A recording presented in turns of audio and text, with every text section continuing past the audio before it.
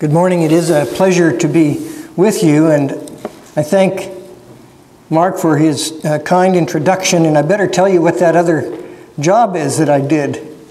Um, in uh, after uh, teaching at Westminster Seminary in Philadelphia, we moved to uh, Michigan, and there I owned and operated a dairy farm, while I was also teaching at uh, Calvin Seminary. So. Uh, it was fun for me flying in from Chicago low enough to be able to look at all the farms. And it, I was kind of hanging almost out the window, just uh, being able to. I mean, it was a magnificent view of, of the crops and how everything was organized. And this is my first time to Iowa. And you hear about the, the ground in Iowa, right? The, the ground, there's no ground like Iowa farm ground. And um, boy, it sure looked like it was well kept uh, by the farmers here in Iowa. So it's a pleasure to be with you. And uh, it has, it's been a long time uh, since uh, I've seen the farm machinery out as we were coming in. There was a, shame on him for doing it today uh, before church, but there was a John Deere tractor with I mean, all the wheels were out, and I just about got a whiplash trying to watch it as, as we were going, going by. It was the biggest tractor I've ever seen. So I, I had a, a little John Deere. Uh, for those of you who have tractors, anybody know what a 4020 is? okay, I mean, we're talking a long time ago. So that was my tractor, and it was, it was a big one. It could pull five hole, by, five hole plows, right? So uh, for you guys, that's nothing, but. It's a pleasure to be with you. And uh, I do thank the, uh, the elders and Dr. Larson for the kind invitation. We're going to talk about uh, John Calvin and uh, the Reformation this morning, and I want to start uh, a little before Martin Luther. This is the 500th anniversary of Martin Luther nailing the 95 Theses to the church door in Wittenberg. And I want us to step back in time to imagine what it was like 500 years ago in Germany to, uh, to be a normal uh, German. So, over 90% of the people were farmers. But unlike today, a, a full family farm would be 40 acres. But also, unlike today, most of the farmers were not owners of the land. There were the great lords who owned the land. And the, the, the towns would, uh, the, the farmers would live in the town and would have to walk out to the farms where, where they would work.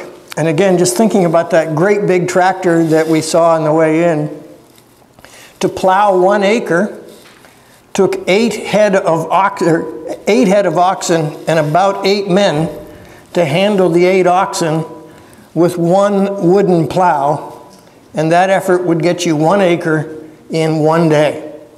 So that's um, when you hear about the plowmen, uh, uh, they would be plowing uh, not all year round, of course, not in the wintertime, but um, they had crop rotation and they knew uh, about manuring the fields, and uh, so livestock was important, taking care of the livestock, and it was highly intense work in terms of manpower per acre. And so that's why 40 acres was a, was a decent family farm.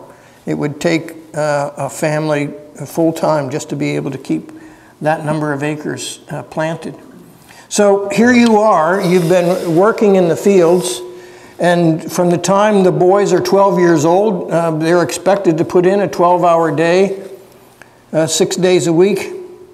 And you get your day off on Sunday, and you come to church, and you hear the Mass in Latin. Now that's helpful. Right? I mean, nobody understands a word of what's going on in church. And the priest can do magic. Now, again, you, you, no one goes to school. No one can read. I mean, no one. That 90%, there's no one literate. You speak your German dialect, and every, every part of Germany had different dialects, so you could tell where someone was from by their dialect. But you didn't leave your part because you couldn't get into your Chevrolet and drive down the street. You would walk.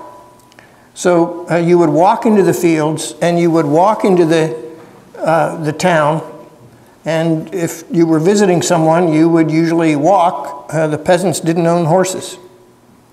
So you go to church and you don't understand a word, but you know you're to take the Eucharist or the Lord's Supper, and you're told that that helps you to get to heaven.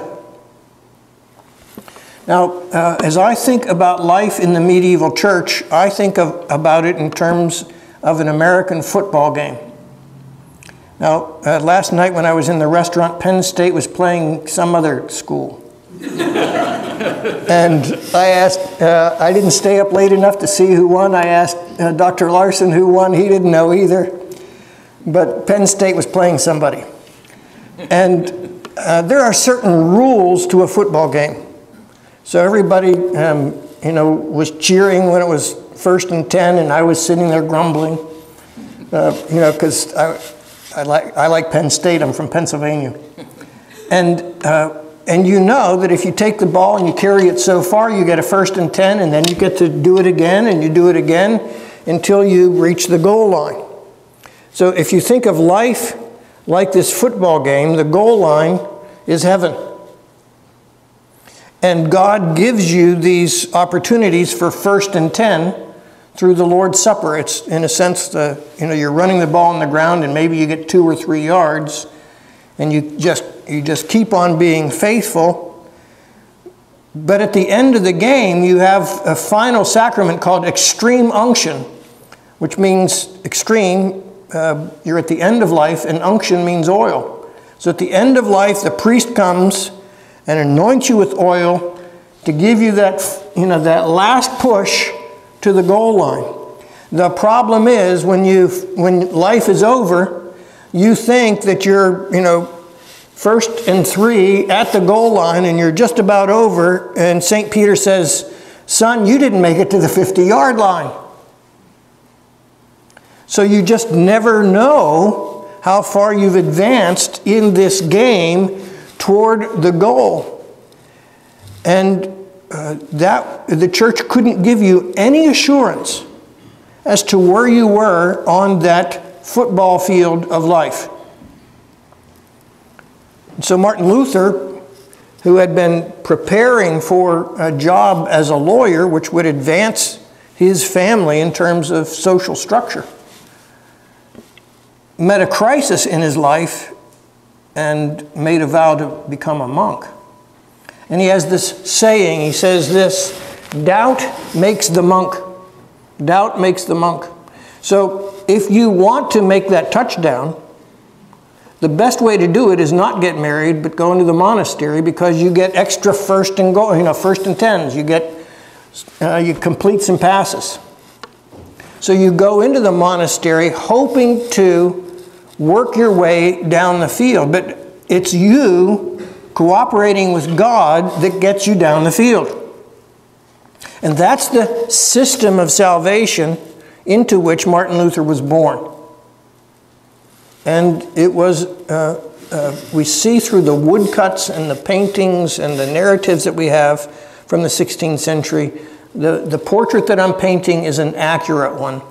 There was, uh, there was fear, especially as people would get older and they would be closing the end of their days. They, they wouldn't know whether they were going to make it. But the church created sort of uh, you know, to use to switch sports metaphors, if we go to hockey, there is a penalty box. Now, again, I'm not a sportsman, uh, but and if I get things wrong, somebody correct me, okay? But I know in hockey, uh, hockey, I, I, watched a fight in a hockey game broke out one time. Sorry, that, that was supposed to be funny. All right, so uh, there are penalty boxes in hockey and, and the players are put there and they have to cool off for a while. So the church invents a thing called purgatory.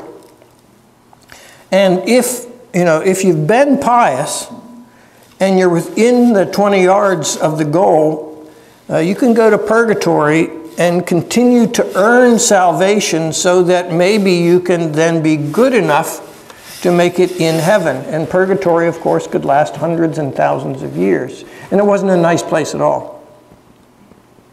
So here's Martin Luther. He's now ordained as a priest, and he is a, he's a German priest, and he's ministering to German people. Again, the vast majority are, are serfs who farm, and he loves his people and in comes a group of preachers who sell what's called indulgences. And this is what's going to bring on the 95 Theses. And indulgences are for a certain amount of money, you can buy grandma's way out of purgatory. So grandma may have been pious, but you don't think that she went to heaven because she wasn't a nun or she didn't live in a convent because she's your grandma. And so, you know, for a, a few small coins, you could relieve her, say, of 100 years of purgatory. And what was happening, these serfs who, who were on a subsistence diet, in a sense, one day away from famine, they were giving their last pennies to the indulgence preachers to save uh, dearly departed family members. Now, I mean, you think about it um, in terms of your own family. If, if in fact the claim is true, which, which the people believed, I mean, the indulgence preachers would come in and they would, they would literally have papal uh, proclamations on sheepskin that would say, you know, this guy really can do this for your family. I mean, wouldn't you do it? We would, we would all do it. But Martin Luther, the pastor, sees the people as sheep uh, and he's the shepherd, and they're giving their last pennies to, to get you know, these indulgences, and, and Luther just doesn't believe it's true. Luther says, Well, excuse me, Mr. Pope, if you can you know, give these indulgences, why do we have to buy them? If you've got a treasury of indulgences, why don't you give it away? Just freely give it away. And of course, Luther knew that the money was to build St. Peter's Basilica in Rome. So Luther, in uh, 500 years ago, writes these 95 theses, and it's all about the theology of the indulgence and how it's bad. The problem for Luther is this the Pope was in favor of the indulgence preachers because the money was going directly into his coffers. And to, to stand against the indulgence preachers is to stand against the, the institution of the papacy. And so the Pope is going to respond uh, violently against, against Martin Luther. So the real issue of the Reformation was a pastoral issue. It's not some kind of you know theological issue. It's uh, the Pope is doing wrong to my sheep, and I love my sheep, and I don't want to see them hurt by these indulgence preachers who have a very lavish lifestyle themselves, and they're sending money back to Rome, and and the uh, Luther had seen the lavish way in which the Roman hierarchy lived, in contrast to the peasants who are working 12 hour days and barely making a living at all. So that's the inauguration of the Reformation in 1517. And from that, it continues to build and, and continues to grow as Luther begins to look at the theology of Rome. He begins to say, you know, I've been, I've been called as a teacher of Bible and a preacher, and I read the scriptures and I see what's going on in the church, and there's a disconnect. There's something desperately wrong. And during the sermon, I'm going to uh, preach from uh, one of the passages that was so important to Luther from the book of Galatians concerning what we have in Jesus Christ and the glorious gospel of free grace that we have in Christ. And Luther was convinced We don't have to buy anything from anybody. Salvation has been won for us by Jesus Christ 1500 years ago. And through faith in Him and His blood shed on the cross, we have free forgiveness of sins. And for us as Protestants, that's, that makes perfect sense. But it was a radical new message. So that's in 1517. Things are stirring up in Germany. By uh, 1521, the Pope has completely excommunicated Luther. There's no turning back. But the people, the, the peasants, um, uh, began to hear the Bible read to them in German. And they began to hear the gospel. And, and, brothers and sisters, think about it.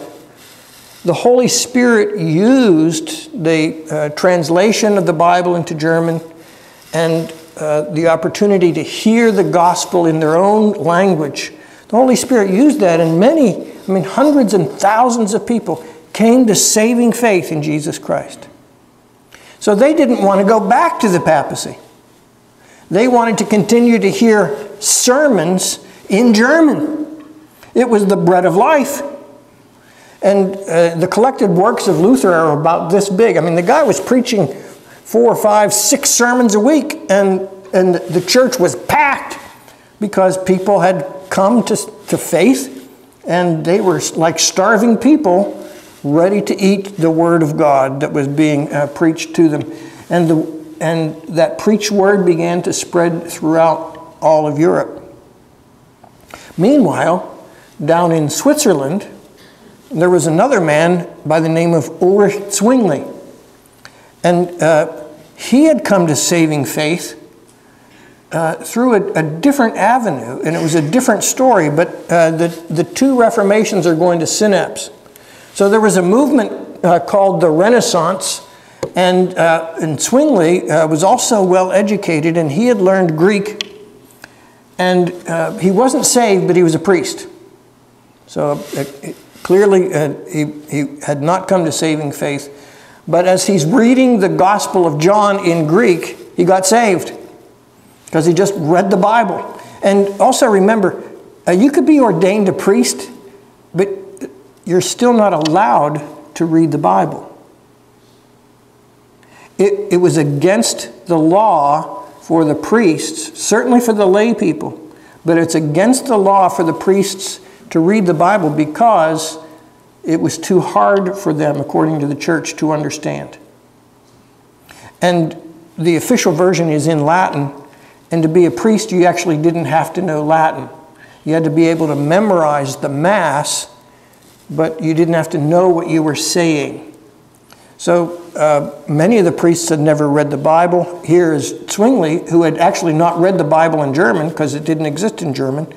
He's reading it in Greek, and he got saved. And he starts preaching the same kind of message, except the, the way he did it was fascinating. When the people would come uh, into this center of the city uh, to the market, so twice a, twice a week, the farmers would come in and sell their vegetables, and people would buy their vegetables.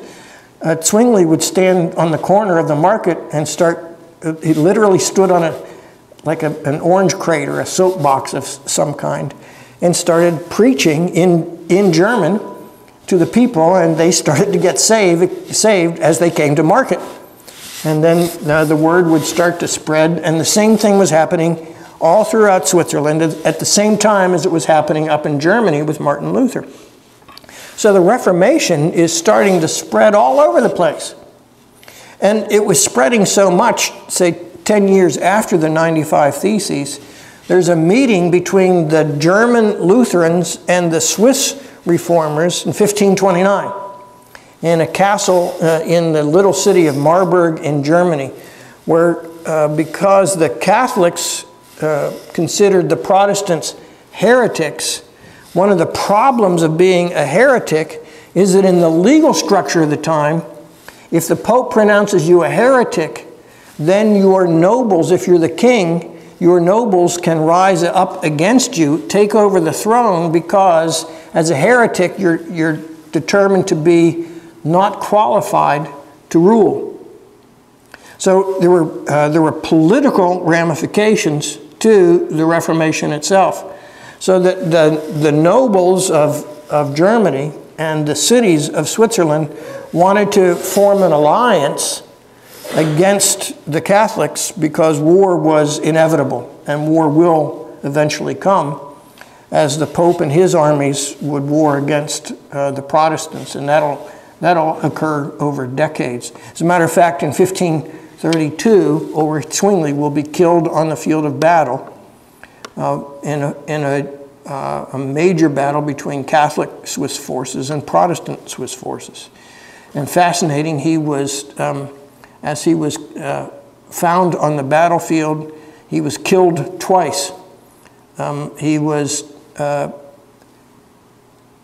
are you ready for this? He was cut into four as, as a traitor, and then they uh, burned what was left of him as a heretic.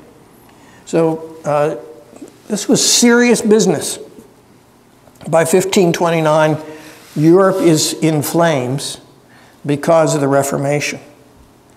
And in 1529, John Calvin was probably still Roman Catholic.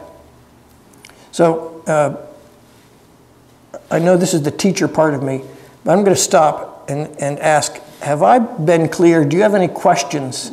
Um, don't hesitate uh, it's all clear in my brain, but between my brain and my mouth, and my mouth and your ears, and your ears and your brain, there, all kinds of things can happen. So, uh, questions, comments, or challenges, it's, it's more important for me to be clear than anything else. Anybody? So I'm crystal clear? Well, that's good. Okay. So 1529, uh, uh, we have that meeting. 1532, Zwingli's dead. So uh, we've already finished the first generation of Protestant reformers in Switzerland. And in 1532, Calvin begins to make his appearance on the field. He's, he's born in 1509, so he's very young. And he had his first publication, which was what we called a, would call a humanist work, um, just a scholarly work. And in those days, it was possible to, excuse me, to have a career as a scholar, as a writer, and people would support your books, and you could become rather wealthy. You wouldn't have to do anything else. You certainly wouldn't have to milk cows. Oh, I'm sorry, that, that was attempt number two at humor. Okay. 1532, uh, he uh, puts out his first scholarly work, and he intends to live the quiet life of a scholar. Um, he has tremendous academic uh, gifts and abilities. And he never planned to be a priest. As a matter of fact, John Calvin never went to seminary. Now, if any of you young guys are thinking about the pastoral ministry, don't follow Calvin's lead on this. Going to seminary is a good thing, unless you have an IQ of it like 200 or something, like Calvin did, and he could study all that stuff without going to seminary. But he, he, he was a lawyer. So Luther never finished being a lawyer. Calvin actually became a lawyer, never went to, uh, to seminary at all, and wrote his first book, which wasn't really a Christian theology book.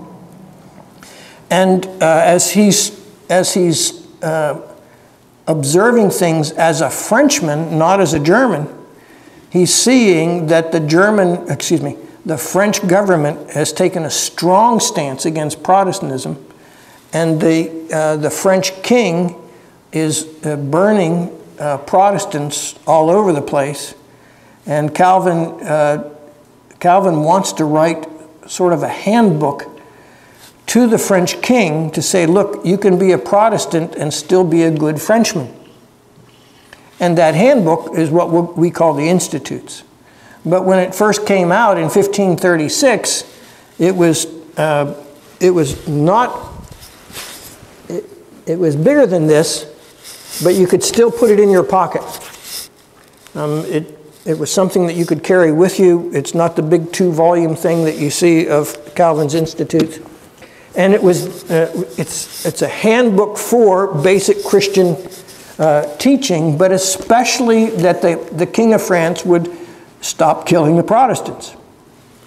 So Calvin has written this, and uh, he still wants to be a reclusive scholar writing books now as a dedicated Christian.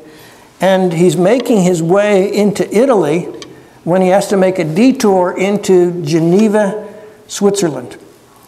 And of course, he's known as Calvin of Geneva, Switzerland, but uh, he, he is a Frenchman in terms of his citizenship. And as he's spending the night in a, a Best Western hotel in Geneva, Switzerland, he gets a knock on his door from a guy named William Farel. And William Farel had been doing uh, Reformation work in Geneva, and he needed some help. So Farel was doing the same kind of thing that Zwingli was, had done. He's preaching in the marketplaces, and by this time, probably 50% of the city, or a little bit more, had come to saving faith. But there are, there's no one to preach. I mean, there's him, but now literally thousands of people had come to saving faith. And uh, how's he going to minute? I mean, he's doing this on his own. So here comes this French speaking evangelical into his town, and Farel says, You're going to stay here. And he does it in a very persuasive fashion he basically threatened Calvin with divine condemnation if he didn't stay. And later, Calvin wrote, I heard the voice of God in the words of William Farel, and he, he could do nothing but stay. That was his call to ministry.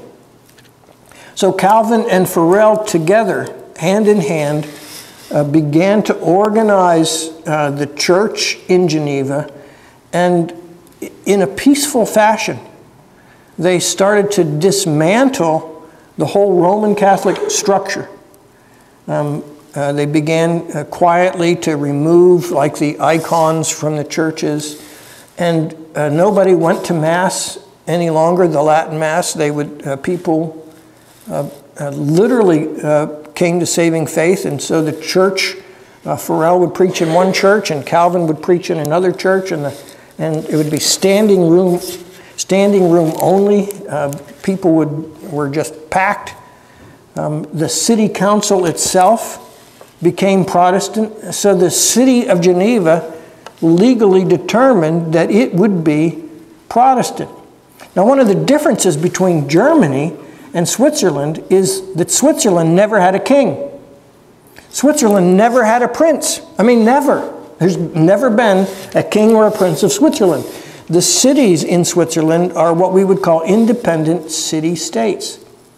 So uh, the great city of Zurich, where uh, Zwingli was, had a, had a mayor and a city council. Other cities like Basel and Bern, uh, the present-day capital of Switzerland, uh, no king. Uh, they had uh, powerful families, but no actual noble families. So that in the city of Geneva, if the city council determined that the city's Protestant, then it was Protestant. And they did it by vote. And fascinatingly, the vote was not so much the peasants, but the men who were wealthy enough to be able to afford a sword would come into the center of the city and you would vote by raising your sword. So having owning the sword, which would cost you know literally hundreds of dollars, which the peasants couldn't afford, uh, owning the sword was your sign of citizenship, and you would basically count the number, and if there were enough, uh, that's how Geneva became Protestant. So that inaugurates the Reformation in Geneva. The Geneva population determined that they uh, were going to be Protestant. The situation is different in Germany. In Germany, the nobles determined whether the province would become Protestant.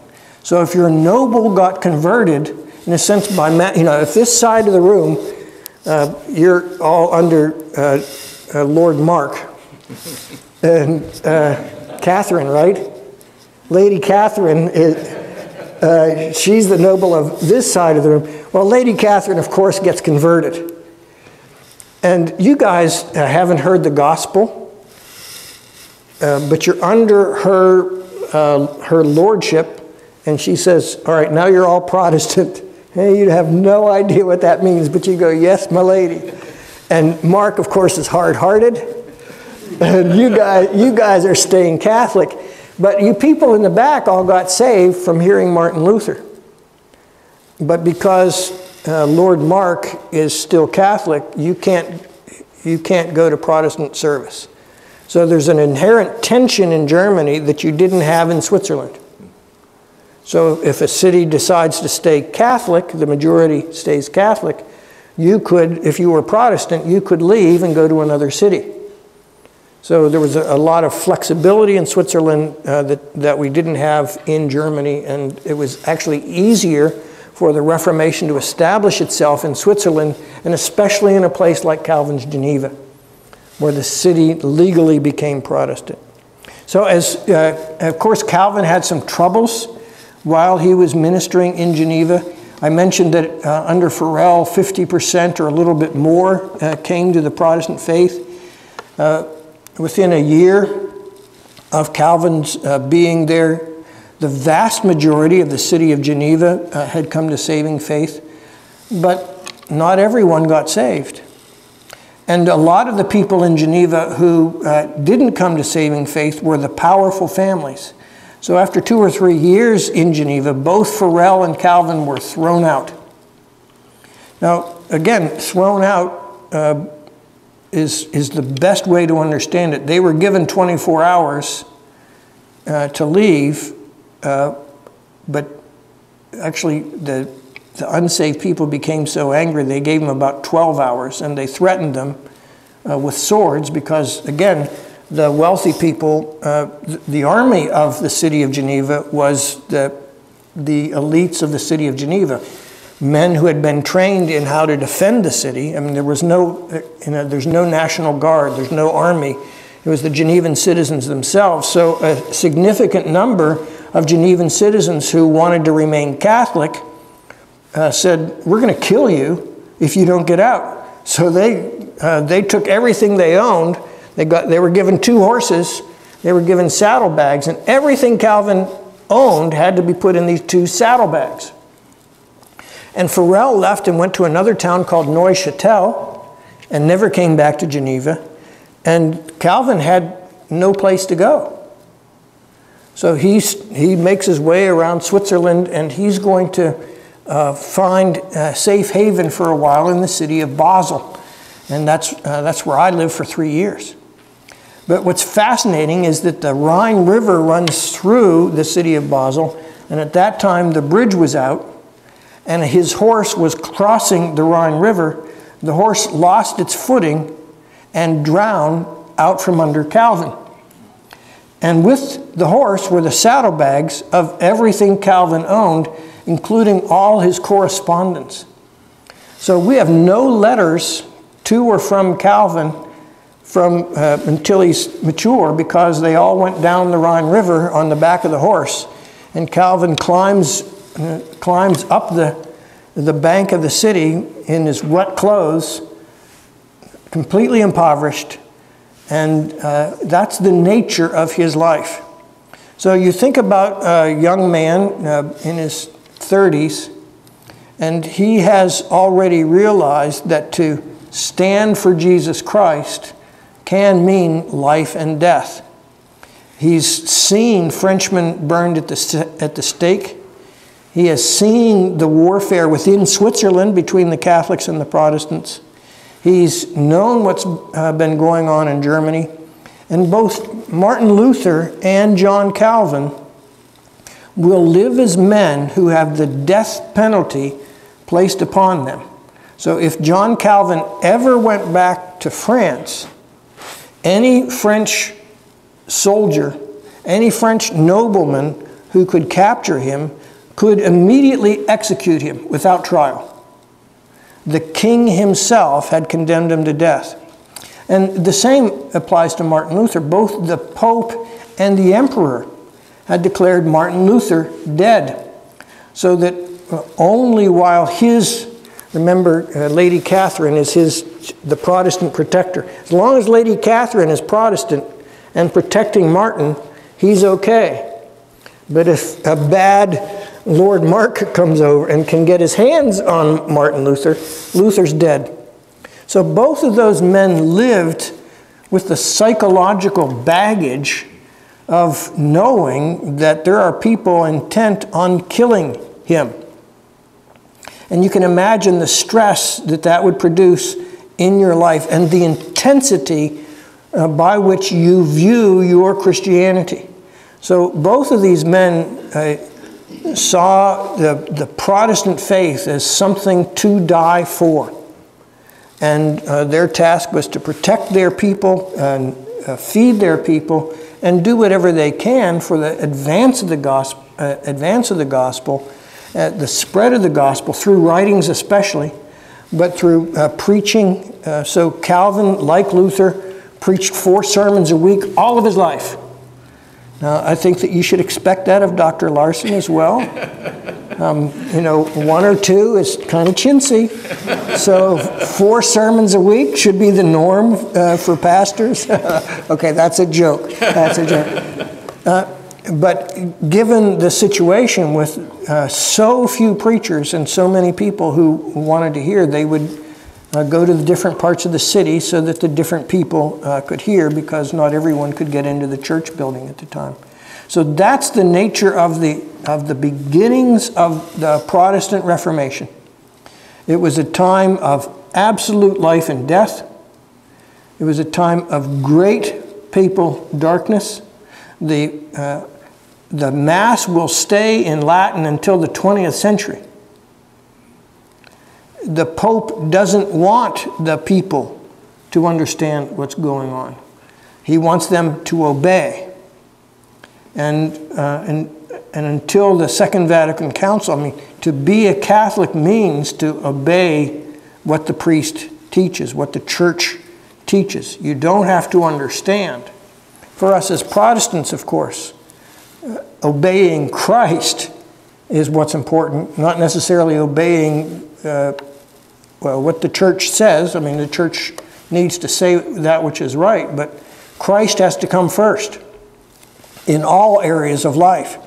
So Calvin and Luther have uh, their hand in hand in, in almost all of these theological points.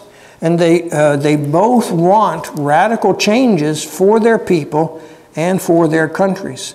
The, the Roman Church had brought darkness into every area of life for the last hundreds of years.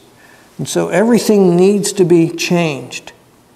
And uh, later uh, this afternoon, after, uh, after our morning worship and our lunch break in the second hour, I'm going to show some of the ways in which I'll focus ex exclusively on Calvin, some of the ways in which uh, uh, the Lord Jesus Christ, through the servant John Calvin, brought about great changes, and how uh, some of the things that we take for granted as that which is normal as a direct inheritance that we've received from the 16th century.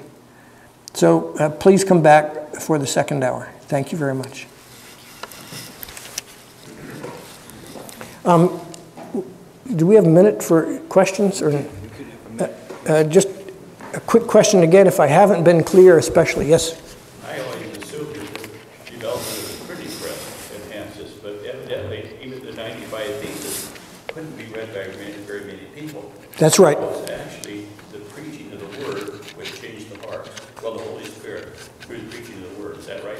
Yes, it, it was a combination. So the, the, without the printing press, there'd be no Reformation.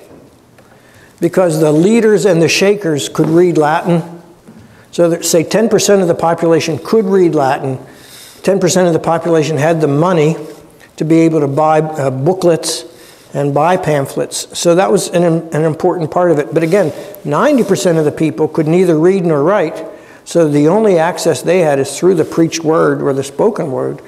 And uh, oftentimes people would get together, say one family could buy the Gospel of Mark. And so the extended family would come and, and uh, they would have someone who could read, read it out loud. So uh, the spread of the gospel was basically by mouth. Yeah. Excellent. Any other questions or comments, please? Yes, ma'am.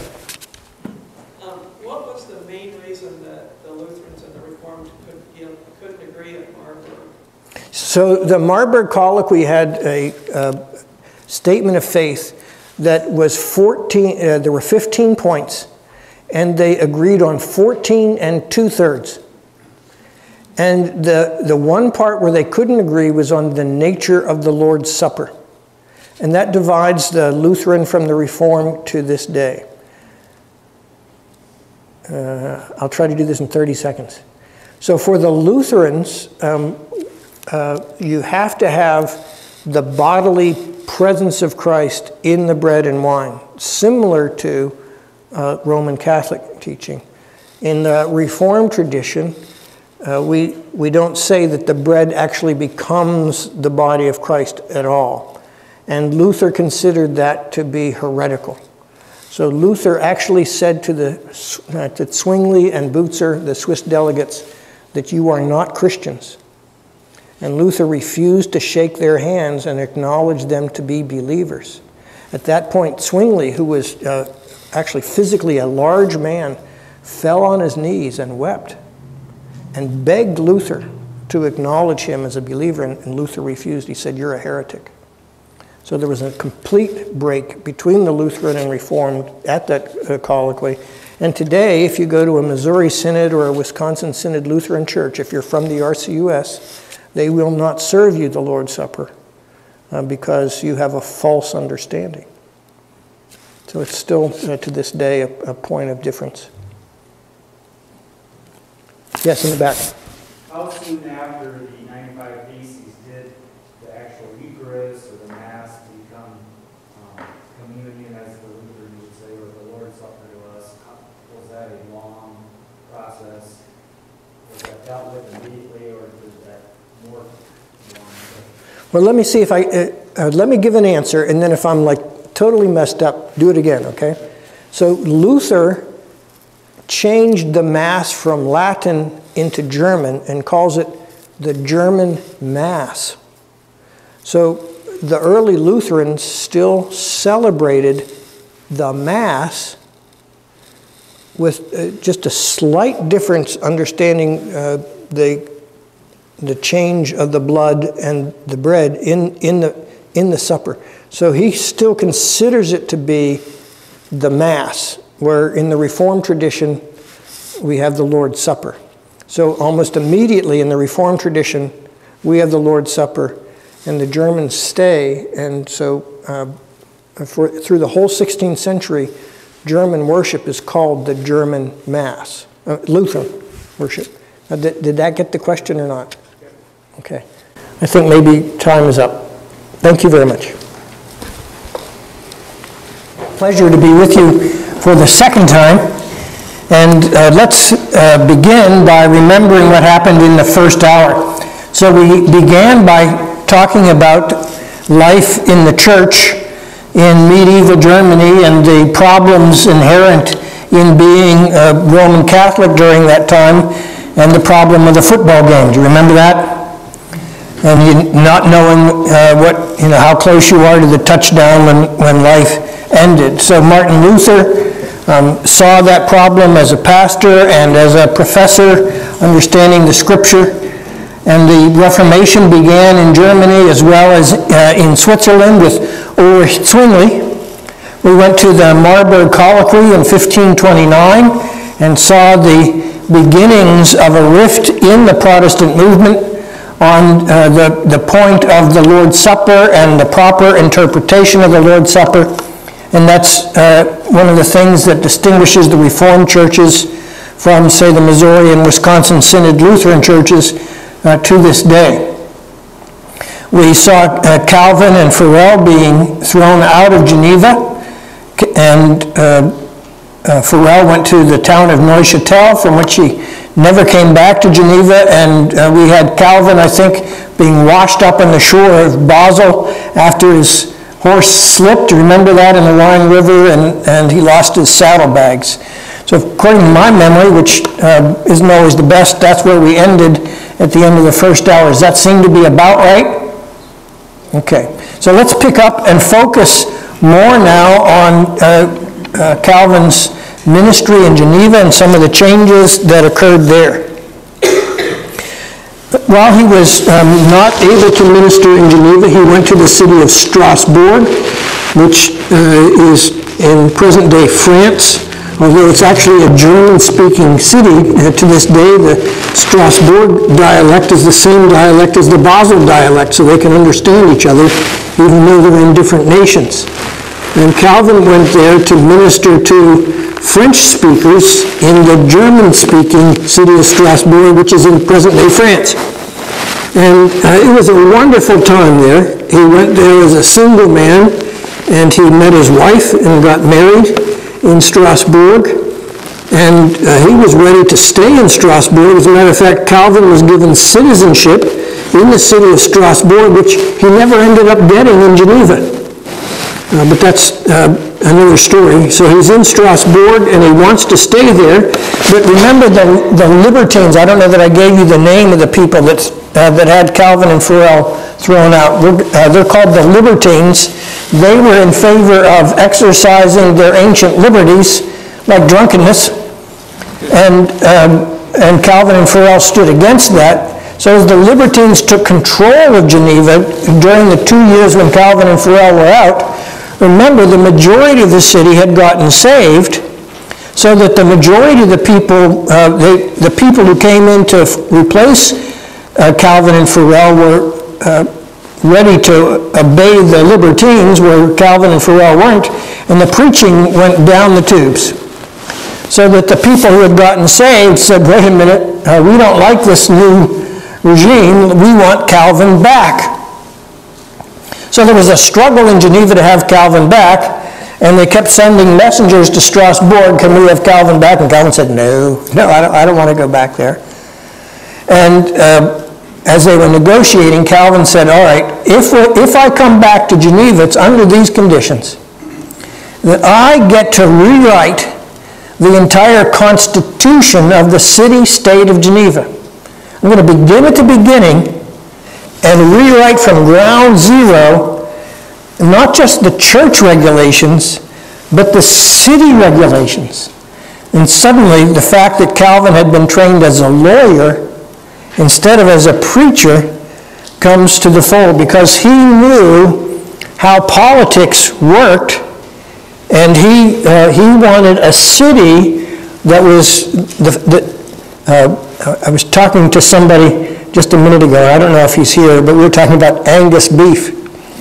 And, and he was saying that when you, you have to have a good genetic foundation for a good Angus cow. Well, a city needs to have a good constitution to be a Christian city.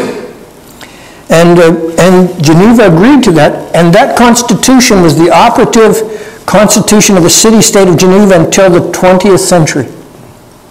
So uh, he wrote an enduring uh, constitution that, uh, that restructured Geneva itself. So he came back to Geneva, and by the way, has anybody ever gone to Calvin College or seen Calvin College or heard of Calvin College? Have you seen the symbol for Calvin College with the heart and the flame? Well, Calvin had no symbol.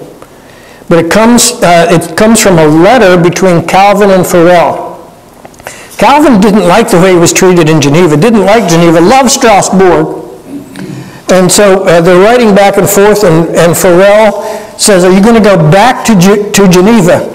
And in the letter to Farel, Calvin says, and this is uh, Rick Gamble's translation, because it, it may be a little even more risque than I'm going to say. I'd rather be dragged through the bowels of hell. That's really what he said, than to return to Geneva.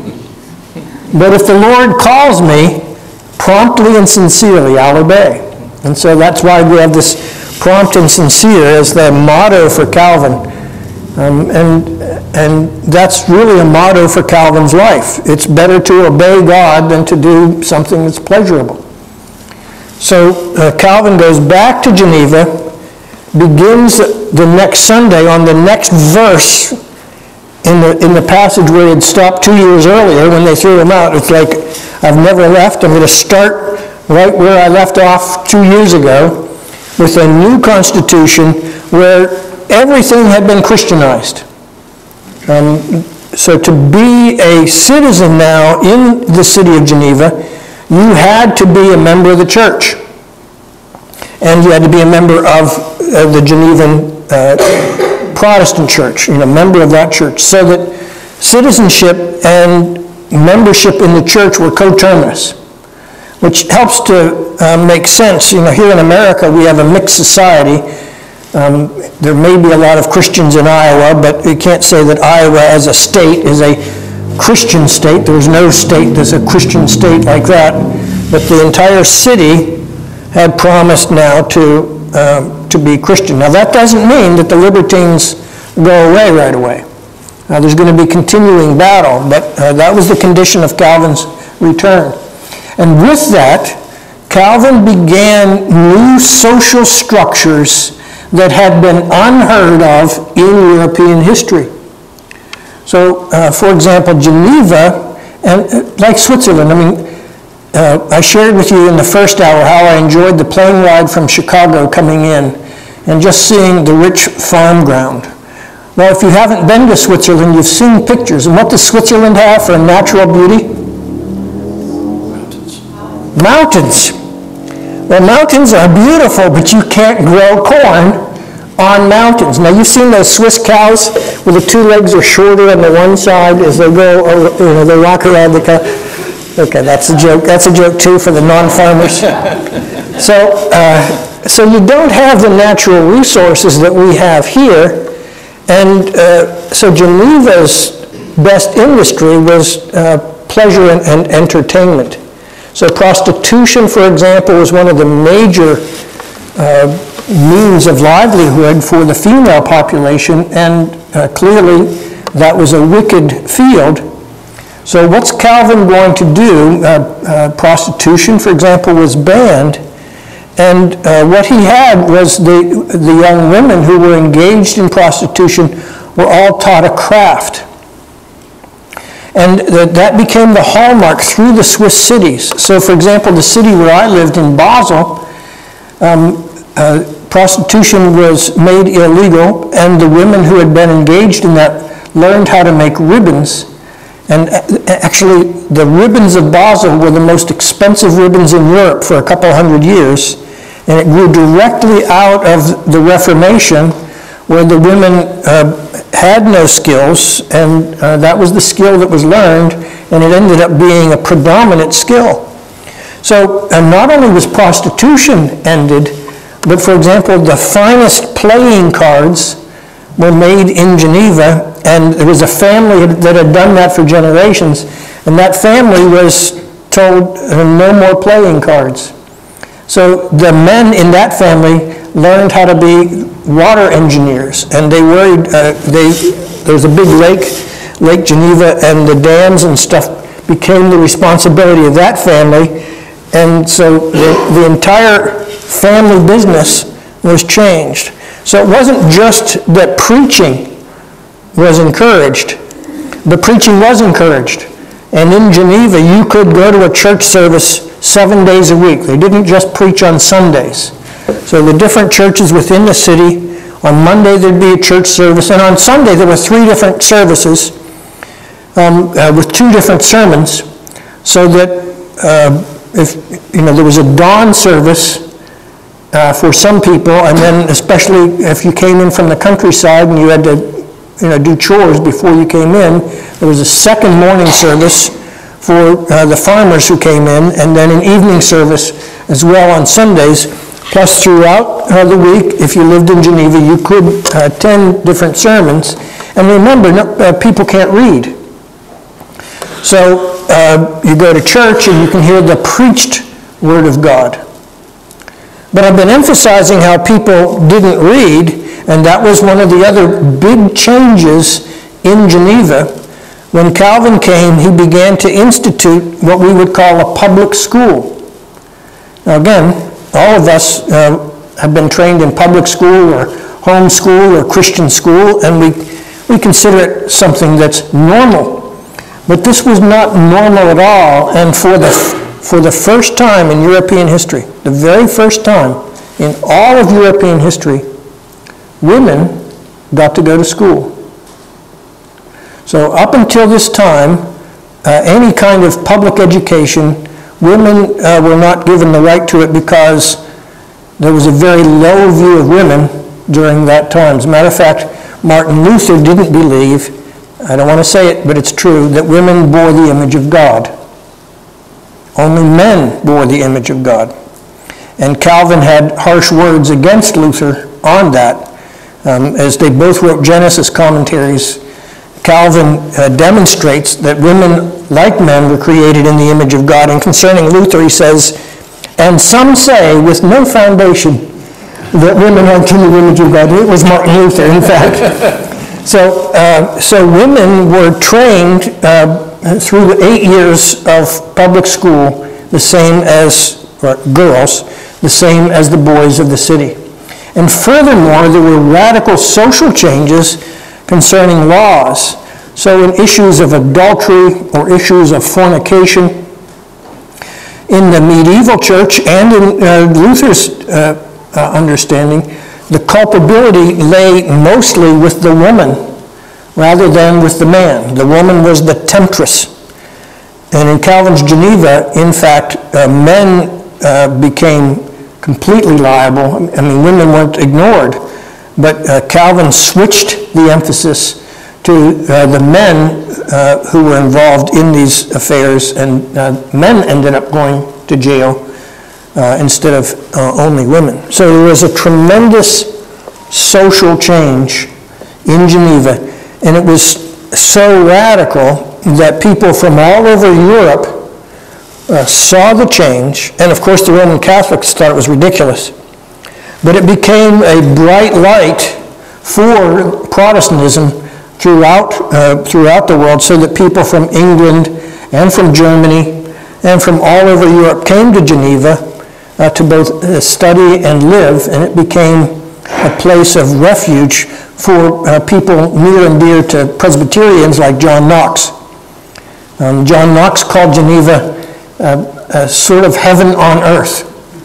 Um, people then were now taught to read. Calvin was convinced that all members of the church need to have access to a Bible and have the ability to read the Bible. Another change occurred um, in the churches that, once again, we take for granted, and that's singing, congregational singing. Up until that time, there were professional choristers who would sing in the Mass. And of course, if you can't read, you can't read music and you can't sing. Calvin and Farel uh, had these words to say about Geneva when they first started to, in, to institute congregational singing. Calvin described singing in these pithy words They sound like cats having their tails stepped upon. so if you've ever stepped on your cat's tail, you know the uh, awful sounds. And, and what they did in the schools is they taught the children how to sing, and the children could then go home and help mom and dad warble out a sweet tune. And uh, so we, we sang uh, this morning in uh, worship from the Scottish Psalter, one of the Psalms, which comes, in fact, from the Genevan Psalter before that time. So Calvin uh, had the city council employ a poet, a guy named Marot, who took the Psalms and put them into meter and uh, then they began to sing the tunes. And once again, the tunes were just common tunes. So uh, the Catholics and uh, the English um, Anglicans, for example, called the tunes the Genevan jigs. Um, they were, uh, they seem kind of boring to us, but they were the popular songs of the day. So Marot took the words of the Psalter and uh, they put them to uh, tunes that the people knew and understood, so that congregational singing, for example, in Zurich with Zwingli, Zwingli was a, actually an accomplished musician, but he, prohib- he prohibited singing. He didn't know what to do. He knew that having the, the choirs sing uh, sort of entertainment wasn't good, but he didn't think that it would, he could pull off teaching the people to sing, so he just forbade it. And it was like that for 75 years in Zurich. Uh, but in Geneva, they started to sing the Psalms as, as a congregation. And eventually, then, you know, as you know, singing sticks in our minds, right? Um, you can uh, talk to people, uh, elderly people will remember the songs of their childhood more than what happened last year. And uh, songs, uh, singing the, the Genevan Psalms became a part of uh, French-speaking Protestantism. So those are some of the changes that occurred uh, on Calvin's return to Geneva. I've been blabbing uh, quickly and for a long time, so let me stop and see if I've made sense and uh, see if there are questions, comments, or challenges. Uh, It's made sense to me, but again, I don't know that I've communicated well. Questions, have I been uh, speaking clearly, or comments, or clarification, please? I don't see anybody seeking the floor, so that means, yes, ma'am. Did Calvin I'm sorry? Oh, that's a good question. Oh, that's a good question. Let me do that one. I promised Dr. Larson a story at lunch, and, uh, and I could see I was really frustrating. He wanted to know the story about Calvin, and, uh, a part of the story of Calvin and Luther, and I said, you have to wait for the lecture.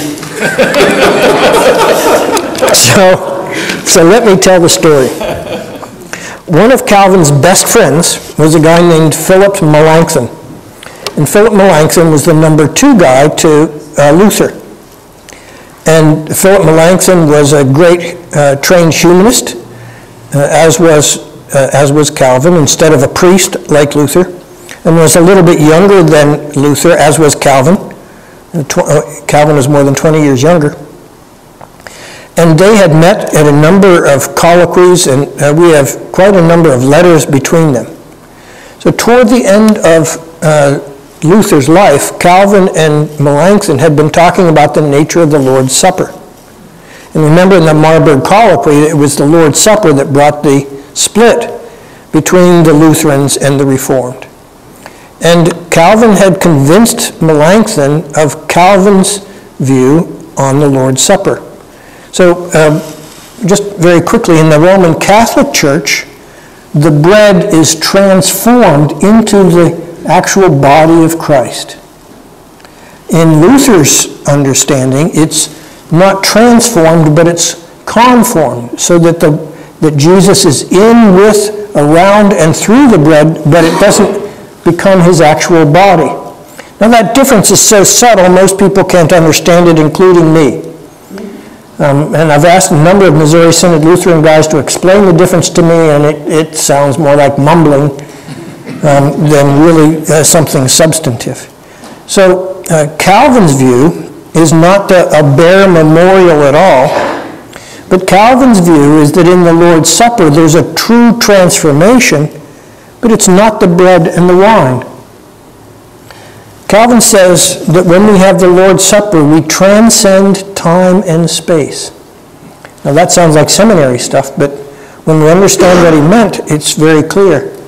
In the Lord's Supper, it's not just the pastor and the elders who are presenting the body and the blood. It's by the eyes of faith, Jesus Christ himself. And by the eyes of faith, we leave, we leave Pittsburgh or we leave Iowa and we're swept up into heaven. And that's the transformation. The transformation is of the congregation rather than the bread and the wine. And as Calvin made that clear to Melanchthon, Melanchthon said, this is good. This is, uh, this is what we should, should have. So, so John Calvin wrote a letter to Martin Luther on the Lord's Supper. And Calvin hoped dearly that this could bring about a, a union between uh, the two groups. Gave it to Melanchthon to give to Luther, and then Calvin heard that Luther died. So he writes frantically, again, we have this letter, he writes to Melanchthon, Melanchthon, did you give Luther the, the letter? And Melanchthon says, no. No, I'm sorry, John, because I just couldn't take another beating. You see, uh, Luther, um, as a medieval thinker, um, in those days, again, showing the cultural differences, the father could freely beat his wife and his children. And Luther, as the father, saw everyone else as a son, and in fact, anytime Melanchthon would get uh, under Luther's skin, he would beat him. And so he was actually, uh, this is in the letter, I'm not making this up. He was afraid of being beaten again by Martin Luther and- and was afraid to give him the letter. So he never received it. So that's, that's the story, Mark.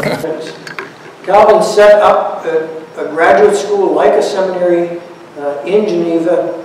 Calvin was the main teacher, but they had a full faculty, and uh, the men were well-trained. And they went back into France to do mission work and then to pastor the small enclaves of French Protestants.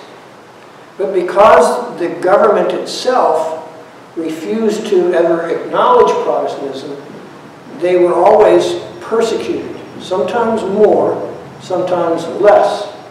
And as you can imagine, um, uh, when there were nobles who actually became Protestant, so you've got, you know, this Protestant side of the, of the room right now, and you've got the Protestant lady who's protecting you, so as long as she's in power, she'll protect the congregations in her, uh, in her province in France, even though you've got a strong king who stands against it. But uh, over here, if there's a small congregation under a, a Catholic lord, they'll be persecuted. And uh, this is a, a sad part of 16th century history, but it's true history. The French government, in conjunction with the papacy, had developed a elite corps of servants to the French government who we would call assassins. And these were uh, professional men who had been trained uh, in military arts. And when uh, in this, you know, you've got this Catholic nobleman, when the Catholic nobleman would hear that one of you guys uh, was pastoring the French congregation within your town, you would have the king send one of the assassins to the pastor's house. And uh, the, the, mo the MO, the modus uh, of uh, uh, the assassination, would be for the assassin to break into the pastor's home at night and kill him in bed. He couldn't do it in the open during the day because the members of the congregation would protect him. But at night, he was, you know, there was no ADT alarm company. And uh, at night, he was vulnerable. And so that was um, the way in which the pastors were assassinated. Now, that sounds like it may be kind of a unique and one-time uh, one-time happening. But from the first day of the establishment of the seminary in Geneva until Calvin's death in 1564, one-third of all the graduates of Calvin's Geneva within three years of graduation were murdered. One-third of the class. So if you've got a class, again, you think of your own uh, high school or college class, you've got a small class of, say, 20 people. Within three years, six are already dead. And it didn't end throughout Calvin's entire life and ministry in Geneva. So imagine, remember Calvin, I said, is a dead man walking. He's already condemned to death in France. But in those days, usually the men who went to seminary weren't married. And there weren't any dormitories, so the students usually lived in the homes of the professors. So imagine your classmate, and for me as a professor, this is very emotional. Imagine having your students come live in your house, and if you have a fight with your wife that day, the students know about it. If you yell at your kids, the students know about it. You know, you can't really hide much when you're having three meals a day together. You train them, you eat with them, and the whole time, you know that in the past this persecution had been going on, and you don't know the future. You hope for peace, but as you've been training them, you don't know whether you're going to be sending them to their death. Furthermore, furthermore, you would uh, you would give to the graduate, by the way, uh, we've, we have 20 volumes, we've transcribed the minutes of the consistory in Geneva during Calvin's life. And we've done that in the last 15 years, and they're now in English. Uh, we have all of these details in the consistory minutes. Furthermore, when, you, when the guy would graduate, he would usually get married. And we, uh, uh, the pastors had with them, just like uh, during the time of the American uh, Civil War and slavery, you know, we, we talk about the Underground Railroad where the slaves could go. Uh, we have now records of the safe houses throughout France. So if you send them, the pastor to, you know, this part of France, if something happens, his wife can go from this city to this city to this city to make her way back to Geneva where she can be safe. So we now know, for example, oftentimes when I speak about Calvin, people ask about Calvin's library. So we've got Luther's library, we've got, but there is no Calvin library. And to explain that, when, when the widows would come back to Geneva, again, I'm not making this up, this is the truth. Calvin would get knock, a knock on his door, and before him would be a young woman in her blood-soaked nightgown with her children at her hand. And she had a piece of paper and said, this is Calvin's house. This is where you go when you make it to Geneva. And it was Calvin's responsibility to, to provide for sheets and a place for this family to stay when they first arrived in Geneva. And oftentimes, he didn't have sufficient funds to pay for them, so he had a deal with the bookseller around the corner. He would take a book from his library and pawn it to the bookseller, get money, and use that money, to go to the merchant to get the sheets and the bedclothes for the woman and her children. And then when he got more money back from the city council to buy his book, it might be gone, and he'd buy another copy or it would be gone.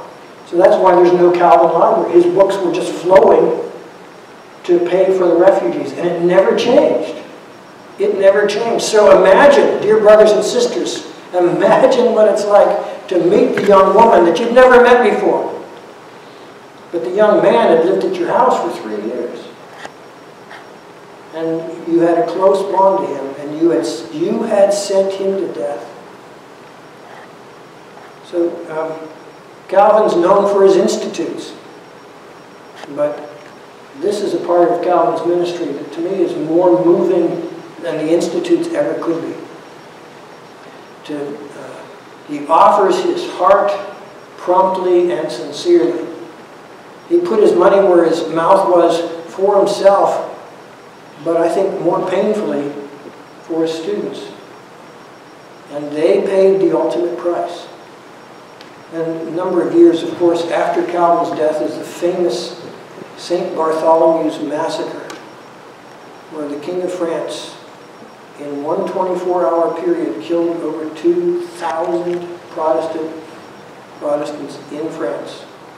The great slaughter that began in Paris and went to the four corners of France and effectively destroyed Protestantism in France from then on. There's still some remnants there.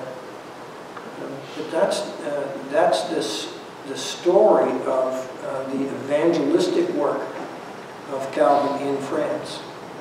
And sometimes people wonder about Calvinism and evangelism. You know, why aren't Calvinists better evangelists? Well, uh, we should be better evangelists. Calvin was a great evangelist. Um, was utterly committed to uh, spreading the gospel of Jesus Christ to those who were perishing. Let me stop on that. Um, uh, for me, this is highly emotional. I can, I can, I've been doing this talk for a number of years, uh, but I'm usually fighting tears by the end, as I'm doing now, and I'm not so sure that I've been clear. So, are there questions or comments on this uh, last last point? Questions of detail or further elaboration would be fine as well, or challenges.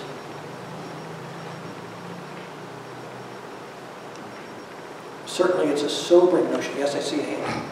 Did Calvin get thrown twice? I'm sorry, I'm getting older, and I heard sort of 80% of that. Did Calvin get thrown in Geneva twice?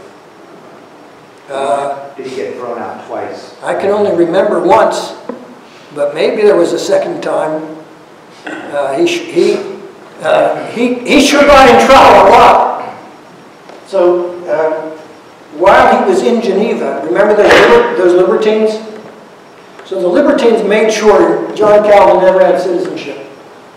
And uh, even though some biographies say that in 1559 he got citizenship, I think they're wrong. So uh, let me give one more story about uh, Calvin getting into trouble, but he didn't get thrown out on this one. So although Geneva had agreed to be Protestant as a city, again, all of us know what it's like to work with hardened non-Christians. And clearly not everyone was saved in Geneva. And uh, toward the end of Calvin's life, the libertines became desperate they were so desperate. Remember, the libertines are the ones that are the elites. So they're the men of arms. The, uh, the captain of the city guard was a libertine. And they decided to take over the city council by force of arms. And so they gathered in one part of Geneva and were going to march toward the, uh, the city council building in the center of the city. Calvin's home and study was close to the center of the city. Meanwhile, some of Calvin's supporters knew that they were coming, and they were very glad to pick up arms and fight against these other guys. So here comes these two groups uh, toward each other in Geneva. Calvin is in his study, and he's not feeling, because he, he, he had all these infirmities. So oftentimes he would stay in his jammies studying. He hears about the libertines coming down towards Center City, goes flying out of his study in his jammies. And uh, there's one, uh, uh, one person here who's an elder who's a, a little bit short. And I won't point to him or anything, but he's not sitting over here, but he's short, you know. There's another one who's really, really short up here with the camera.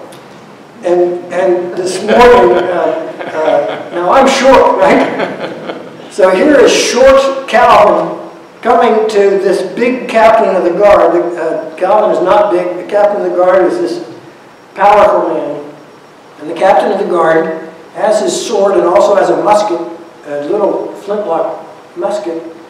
And Calvin comes running up to him, puts his face right against the chest of this guy.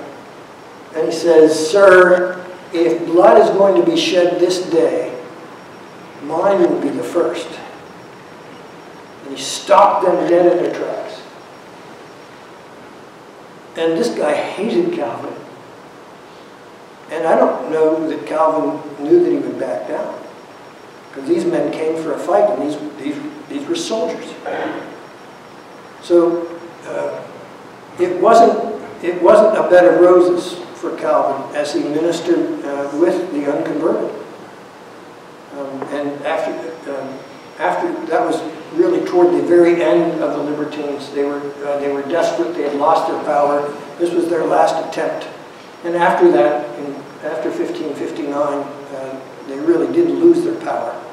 But I think it was Calvin's decisive action that day, literally risking his life for peace in the city, that it was brought about.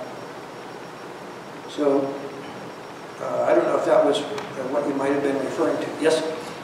Thanks so much for telling about the, um, that kind of pastoral side of Calvin, this book selling and stuff. I, I, I didn't know any of that. And people definitely don't think of that when they think of Calvin and Calvinism.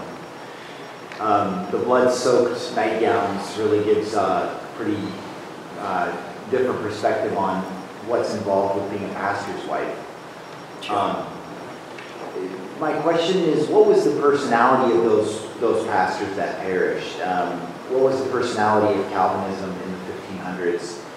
Uh, the reason I'm asking is because in 2017, um, the personality of Calvinism, depending on the church and the denomination, I don't want to make a uh, blanket statement, but my experience with the Reformed community is that it's not always very winsome or welcoming. Um, present company accepted. Um, but uh, what, what was it like then? Uh, I mean, clearly it was sacrificial, it was courageous. Um, Calvin tried to collaborate with Lutheranism, so there was a sense of uh, collaboration there maybe. Um, Again, that's not a word that comes to mind today for me for the Reformed tradition. With, and I'm not saying that's true across the board, there are some exceptions. But my question is, what was the personality like then compared to what personality and the kind of the landscape of Calvinism now today?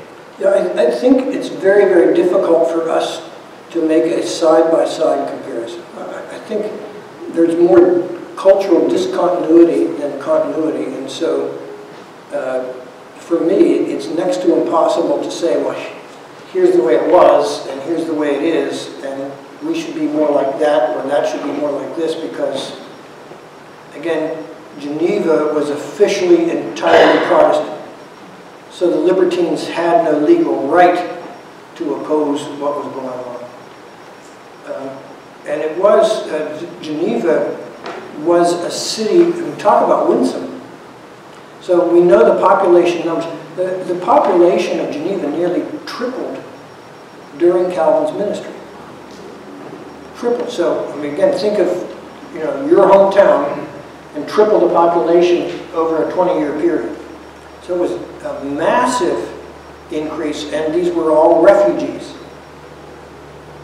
So uh, you, uh, you've got this, the economic problems, the political problems, the social problems. I mean, just uh, the stresses on a city of increased population, increase, more mouths to feed, uh, uh, late, uh, finding work. So, for example, many English Protestants during the time of the Queen Mary, we call the Bloody Mary, uh, found a home in Switzerland, whether it's Geneva or Basel or Zurich, um, and did all kinds of different things to uh, try to make a living. So, uh, indubitably, we were winsome, but we're winsome because we're inviting brothers in who, if we don't invite them in, they'll die. So, I mean, it, it is self-evident when a woman is a widow, she's, she's sacrificed all for the sake of Christ. Of course you let her in. But the same would apply to a, a John Knox or, uh, you know, many of the refugees uh, had to come because remember you're under bad Lord Mark and if you, he'll kill you if you stay in his territory.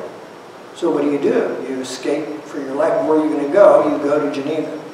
So we just don't have that in the United States at least. That doesn't mean we don't have it in other parts of the world. Uh, you know, things are different in China uh, and other parts. But here, here in America, no one's going to die because they're Catholic or because they're Reformed, at least not yet. So it's really hard for me to make that kind of comparison. Yes, sir. The French Huguenots, did they flee at that time to Florida and the United States? Yeah, so, uh, so Calvin uh, is dead in 1564. We've got the St. Bartholomew's Day Massacre at the end of the 16th century. And small enclaves of the French Huguenot continued, but uh, many of them in the 1700s then came to the United States. So you've got uh, uh, many of the people who have French last names uh, were French Huguenot. But some also went to uh, Germany and uh, to Holland um, as well. Um, so there was um, the majority of the French Huguenot had to flee out of France, but a, a, few were able to stay. Um, and many of our early settlers were French and then were also Protestant, which meant they were Huguenot. Did they assimilate into other, because I don't hear of that. Yeah, so, so for example, uh, many of them went to Holland and became what we would call Dutch Reformed, or German Reformed. Um, so in Emden and different places like that, there were significant French populations.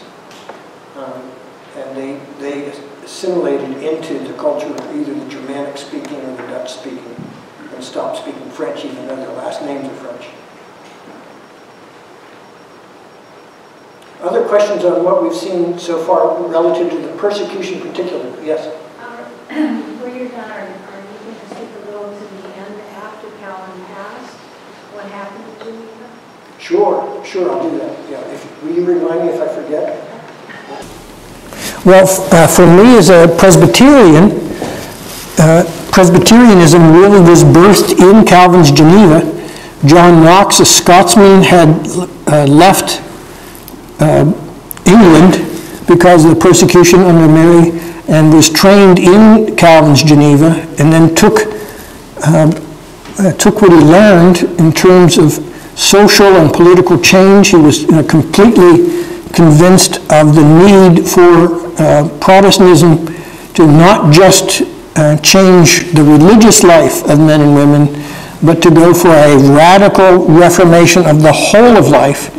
And uh, for me, as a Presbyterian, a Scottish Presbyterian background, uh, my, uh, you know, my heritage really goes back, uh, as a, as a Scotsman, back to Geneva. So we're, we're thankful for what happened in Geneva uh, in terms of the spread, uh, taking care of the refugees, and then the refugees going back. And many of the uh, English Puritans were trained in Calvin's, in Calvin's Geneva. So uh, the story then, uh, through Calvin's life, uh, was a story of struggle, theological struggle, uh, political struggle, um, uh, but the establishment of the uh, city and the establishment of the public school, then the establishment, and and again, think of the social problem. If, if your population has tripled and you've got the refugees' children, the Genevan citizens had to pay the taxes to train the refugees' children through the Genevan public education. So it was a, it was a burden on the whole city to take in these refugees. And uh, the word winsome is way too mild to see how uh, the city of Geneva embraced uh, the refugee populations. And uh, Calvin had a second in charge, Theodore Beza, who continued Calvin's work. Beza died in 1605. And uh, Calvin's last edition of the Institutes came out in 1559. It was um, written in both Latin and French, sold thousands and thousands of copies around the wor- world. But uh, Heinrich Bullinger, Zwingli's successor, was actually more popular in England than Calvin. Um, Bullinger wrote a, a, a theological work called The Decades, which was a series of his sermons. And it was more popular actually than Calvin's Institutes in England. Uh, nevertheless, uh, the Institutes were translated into, into French and uh, spread uh, the Reformed religion so that immediately before the uh, St. Bartholomew's Day massacre, it is estimated that 80% of the population of France had been converted. So it was a time um, of success under tremendous pain and persecution. And uh, to close, and then have some minutes for questions, to close, uh, Geneva became uh, more and more solidified in terms of its uh, international presence and until about 1750. So the present-day University of Geneva was established during this time. But in about 1750, uh, liberalism, theological liberalism began to take hold, and that was the beginning of the end of, uh, of a strict Calvinism uh, in Geneva. So it lasted till about 1750, approximately. Well, I'd love to uh, uh, spend more time with you. And the, right before we began, I was joking uh, with Dr. Larson as to how long this lecture should last, two or three hours. And he said it's fine with him, but it'll be just the two of us. So uh, I promised to uh, finish by 2 o'clock, and there's a few minutes uh, for further questions or comments. The floor is open. Yes, ma'am. So why, in your opinion, did the uh, Reformed side of Protestantism not make it to Denmark, Sweden, and Norway? Yeah, uh, uh, the answer, I think, is uh, political. Uh, uh, They were connected uh, geographically, politically with the Holy Roman Empire. Um, So uh, it was the Germanic uh, powers uh, that were more important in, uh, in the, you know, in Norway, Sweden, and Denmark uh, than the, uh, than the French powers. Um, So I think it it was more political and cultural. uh, Trade, trade was an important way for the spread of ideas, and uh, trade was more with the German powers than with the, uh, the French powers at that time in, in Scandinavia. But that's a short answer to a uh, more complex question. Is that good enough? Would you like a follow-up? Yeah, Yeah, because um, parts of Germany were reformed at this time too, right? Yes, um, but they were, again, we think about the Heidelberg, 1563. Why is the Heidelberg invented? Well, because being reformed in Germany was illegal. And so the Heidelberg Catechism was, in a, in a sense, a way to show, look, we're just good Christians. And uh, so it had a, uh, it had a polemic edge to it as well. And uh, again, the RCUS is uh, the denomination of German Reformed, which is almost oxymoronic. Uh, We think of German Lutheran. Um, So uh, ref- reform, German reform uh, in 1563 was still illegal. So, would you like another follow-up? Okay. Yes, sir. Servetus, yeah. Uh, He was a genius. He was really a genius. He um, was physician to the King of France medical historians say that he beat that guy named Harvey in discovering the circulation of blood by the heart. I don't know. Uh, but he was absolutely a genius in terms of his medical knowledge. But he was also a genius theologian. And he wrote a book with the title Institutes in it. It was almost as big as, well, it was as big as Calvin's first edition. And it was an anti-Trinitarian institutes. So it's the institutes of a non-Trinity Christian religion. And it was like, uh, it was the apex of heresy. So Servetus had been condemned to death by the Roman Catholic Church as soon as that book came out. And uh, again, in the 16th century, to be anti-Trinitarian is absolutely to be a heretic. And there's only uh, one thing you do with heretics, you have to kill them. So Servetus had been condemned to death by everybody. Now, Servetus and Calvin had actually corresponded. And do you remember that Calvin was condemned to death in France? Serve- uh, Calvin tried to uh, convince Servetus to give up his heresy. Servetus said, I'm inclined to agree with you. Will you meet with me and talk face to face? Calvin said, you tell me when, I'll be there. Servetus says, how about Paris? So Calvin went. He snuck into Paris to meet with Servetus. He, he went to the place, the agreed meeting, and Servetus never showed up. So he risked his own life. So they, uh, again, what I'm sharing, we have the letters. So they wrote some more letters back and forth. And Calvin then became convinced that there was, uh, there's no way Servetus was going to change his mind. So Calvin said, you have to understand, uh, so he was uh, imprisoned in France, condemned to death, but escaped because he was wealthy enough to pay a bribe to get out. So Calvin wrote to him and said, if you ever do come to Geneva, I can't promise you protection because he's being hunted.